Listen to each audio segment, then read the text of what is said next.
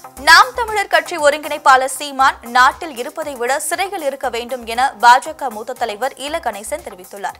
குடியாத்தம் நகர பாஜக சார்பில் நடைபெற்ற விழா ஒன்றில் பாஜக மூத்த தலைவர் இல கணேசன் கலந்து கொண்டார். அப்போது பேசிய அவர் ராஜீவ் படுகொலை தொடர்பாக பேசிய சீமான் நாட்டில் நடமாட தகுதியற்றவர் என்றும் இதனால் அவர் சிறையில் அடைக்கப்பட வேண்டியவர் என்றும் தெரிவித்தார். நம் நாட்டு பிரதமர் ஒருவரை அந்நிய நாட்டு ஒரு சக்தி ஒன்று கொன்றுவிட்டார்கள் என்றால் அதை பெருமையோடு ஆமாயா என்று சொல்வார்களானால் அவர் இந்த தேசத்தில் வாழ்வதற்கு தகுதியற்றவர். அவர் இருக்க வேண்டிய இடம் சிறைச்சாலை தான் என்று நானும் நினைக்கிறேன். விக்கிரவாண்டி இடைத்தேர்தலில் பரப்புரை மேற்கொண்ட நாம் தமிழர் கட்சியின் ஒருங்கிணைப்பாளர் சீமான் முன்னாள் இந்திய பிரதமர் ராஜீவ்காந்தி கொலை பற்றி சர்ச்சை கூறிய கருத்தை தெரிவித்திருந்தார். இந்நிலையில் சேலம் மாவட்டம் மேட்டூர் காவல் நிலையத்தில் காங்கிரஸ் கட்சியின் சார்பில் நகர தலைவர் வெங்கடேஷன் தலைமையில் புகார் மனு அளிக்கப்பட்டது.